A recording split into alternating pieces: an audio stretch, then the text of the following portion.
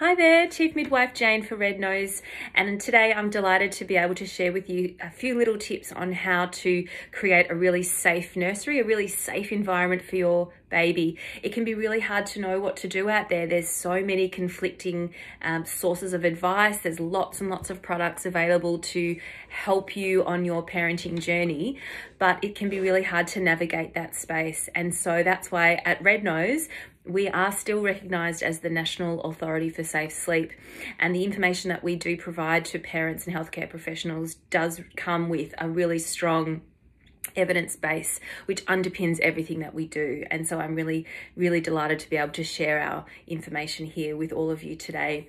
So the first thing to think about when you're building the nursery and you're building the safe sleep environment for your baby is that we really do need to keep it very, very simple. Our babies are very simple little creatures and they don't need very much. So the first thing we need to do is find the, the right sleep space for our baby.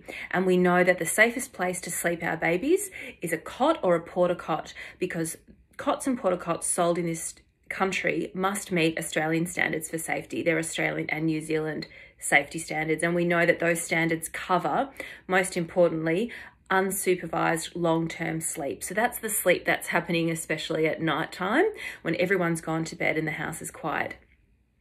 Fingers crossed. So that's that's the ideal sleep space for your baby. Now, the choice of mattress is really, really important too. We need our babies to be lying down flat on their backs, but on a flat, firm surface. This, this is the safest surface to keep a baby in to keep their airways nice and open and protected.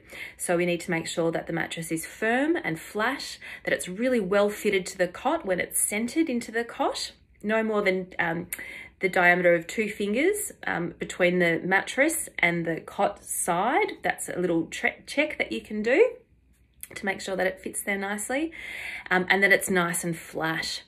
Now, that is the safest setup that you can have for your baby. You'd probably consider put, putting a thin mattress protector on there, some nice uh, lightweight bedding for your baby, and that's it.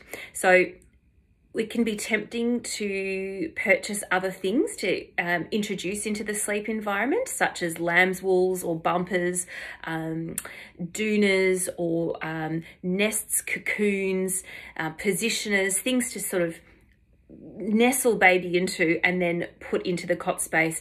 But when we do that, we're introducing significant risk to that baby, not only to their airway, but to their temperature control. And we need to make sure that our babies can um, modulate their temperatures in a really healthy way, but also continue to be able to ventilate in a really healthy way. So it's important that we don't add anything into the sleep space at all because everything that we add to that sleep space is a risk. Now, don't despair if you've been gifted some beautiful um, baby nests or some beautiful positioners or some um, spaces that you can, you know, rest your baby in. That's okay, but we need to use them in a really safe way. And the, the safest way to use those items would be when you're actively supervising your baby. Perhaps you're all together in the family room and you're, um, you know, spending time together and you need a, a place to to put your baby, absolutely fine. But those items don't have a place in the sleep environment and, and shouldn't ever be used for sleeping, particularly for unsupervised rests. Now, if you're um, using sleep environments that are pre-loved, so you've been um, perhaps you've chosen to purchase a second-hand cot or a porta cot or you've been given one to use, perfectly fine as well. Just make sure that obviously it's in good working condition. It's um, doesn't have any protrusions, no rips or tears if it's a porta cot, but also make sure that um, it's within, you know, a 10 year age range. And that's because Australian standards for safety are reviewed um, and or revised or retired every 10 years and you want to make sure that the space that you have for your baby is the safest it possibly can be. So just um, just to keep that in mind as well. Now the research tells us it's loud and clear that you have your beautiful safe sleep space the safest place to put that is in the parent or caregiver's room um, for the first six to 12 months of life because um, it's been shown to be protective against sudden unexplained infant death by as much as 50%. And that's for a whole bunch of reasons. Now, we understand that that's not particularly practical for many families. It might not be achievable for a myriad of, of reasons.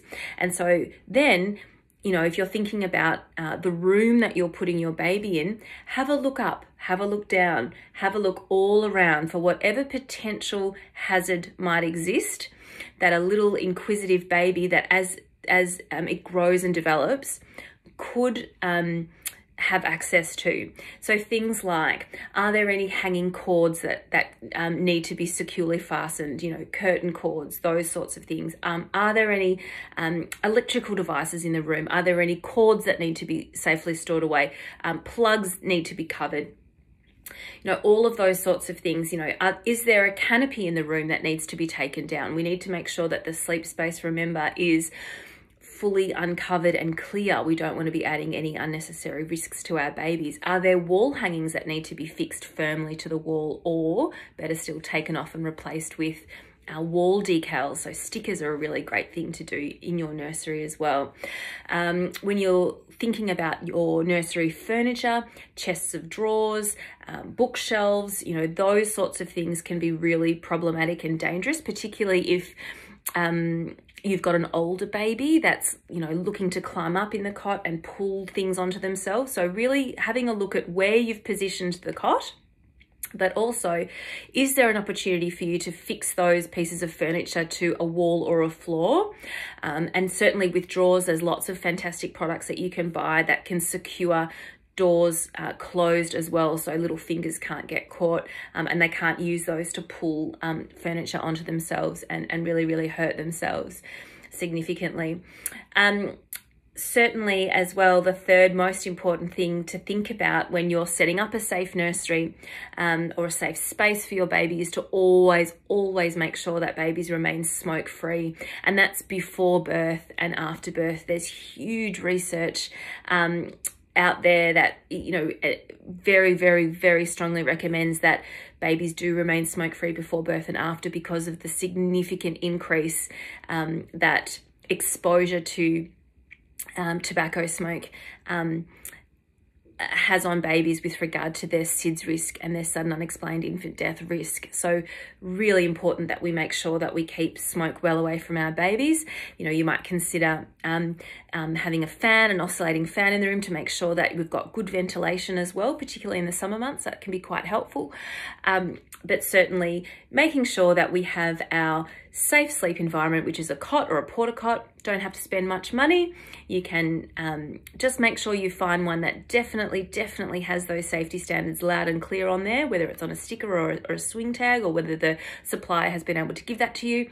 We've got a safe mattress on the bed that's firm and flat and well fitted and not tilted with some safe bedding on there and nothing else in the cot. So no bumpers, uh, no extra pillows, no lamb's wools, nests, um, positioners, cocoons, anything like that that could pose a risk to your baby, okay? We want to keep these sleep environments nice and open. When you're in your nursery room, if that's where your baby is, have a little look around, make sure that there aren't any cords that haven't been um, safely secured away, make sure that we don't have furniture that can easily be pulled on top of us um, and, and topple onto us.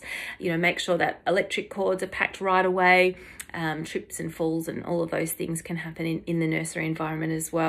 And making sure that our babies, of course, are smoke free before birth and after. So thank you everyone for taking the time to have a, a, listen to us.